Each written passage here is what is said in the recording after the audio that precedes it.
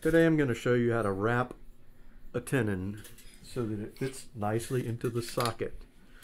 Um, people like cork because cork is compressible and it's easy, but string or thread tenons are great. You can do it home by yourself um, if, if you're that kind of person. Um, and uh, you can get it exactly the way you want it. And if you don't like it, just send to us and we'll cork the tenon. I used to wrap tenons like this, and that's being careful to go back and forth. The problem with that is that it doesn't compress.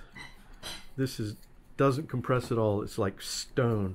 Um, also, what happens when you do it that way is, and we see a lot of these with flutes, the string winds up migrating toward the inside here and it's a mess. You see someone has put all kinds of stuff on there. It's a nasty looking thing.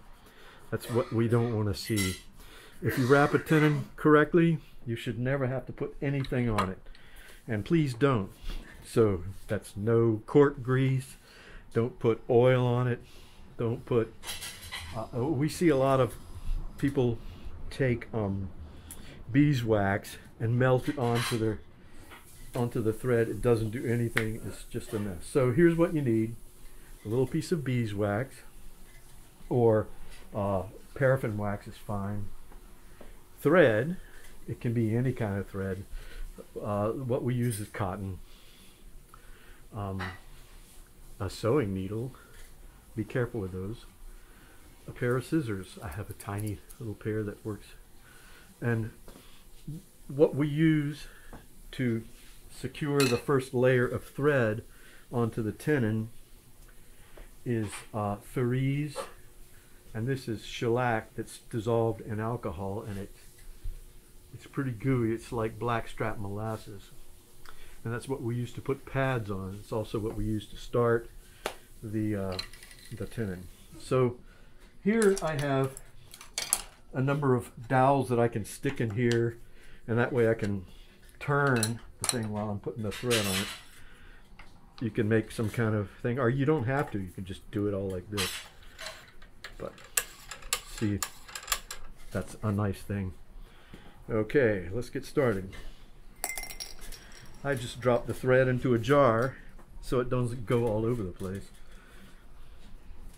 Put a little bit of this stuff on a thin layer. You don't have to use this. You can use fingernail polish or um, lacquer if you can get it on there before the lacquer dries. I wouldn't use any kind of glue because if you have to take this stuff off, it's a mess. Please, no crazy glue. Okay, so I'm getting started by putting just a thin layer of this stuff over the whole tenon. Anyway, why are we doing this? The reason is you don't want the whole thing, the whole ball of thread to turn. So this keeps it from turning.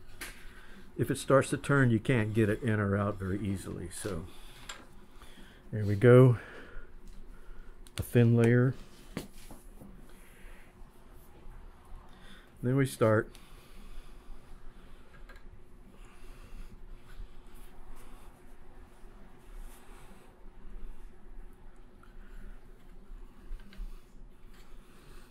And I do one layer straight across. Like I told you not to.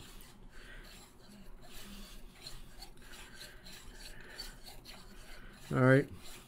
So that's all. Then what I do is I wrap it at an angle, probably a little less than 45, over and over and over again, just advancing it uh, a few millimeters.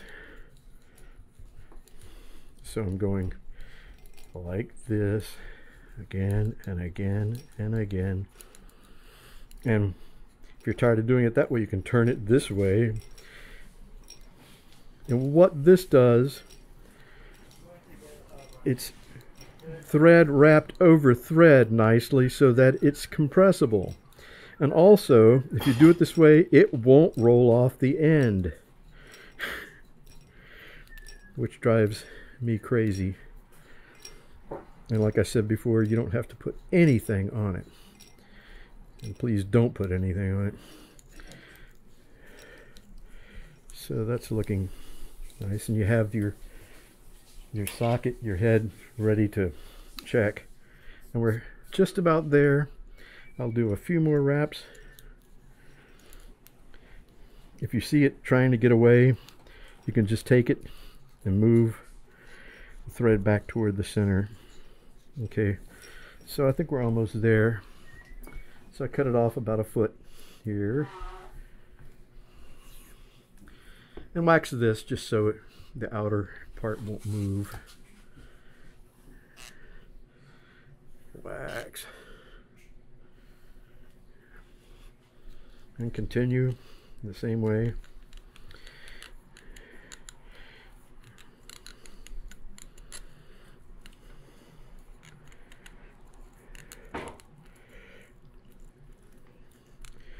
And I think that might be enough. Carefully, we're going to pull this through.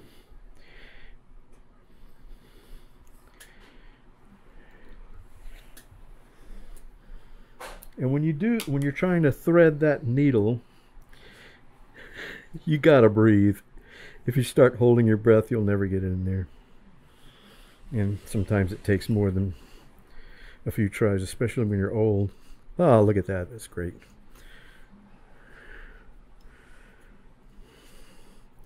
Pull it through. Tighten it a little bit. Cut off the excess. You might want to leave a little bit showing so You'll know where it is if you have to do anything. And there you go. Perfect tenon. Compressible, neat, and pretty.